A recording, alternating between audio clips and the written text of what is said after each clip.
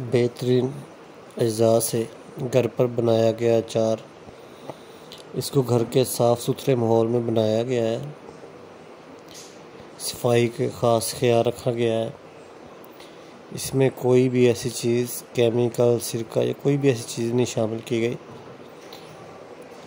इसको कुदरती और सादा अज्जा से बनाया गया है। इसमें बेहतरीन क्वालिटी के मसाले, सुरख मिर्च और तमाम वो चीज़ें शामिल की गई हैं जो इसके इसके जायके को बेहतरीन बनाएँ और इसे ये लंबे अरसे तक महफूज रह सके। ये एक सादा सी रेसिपी है।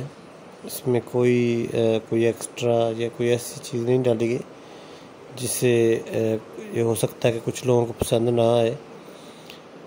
मेरी हर चीज़ का एक छोटी चज़ा भी बेहतरीन और मयारी शामिल किया गया है।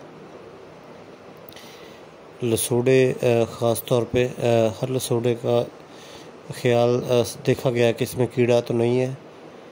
फिर उनको चुन के साफ़ करके बनाया गया। इसी तरह आम बेहतरीन क्वालिटी के आम और इस सीज़न में आम, आमों से बनाया गया। जब आम बिल्कुल अचार के लिए तैयार हैं, ताकि वो सारा साल ख़राब ना हो और बेहतरीन जायका उनका रहे और आप सारा साल उन्हें इस्तेमाल कर पाए। हमेशा साफ़ सुथरी और मीरी अज़ा से बनी चीज़ें खाएँ सेहतमंद रहें खुश रहें।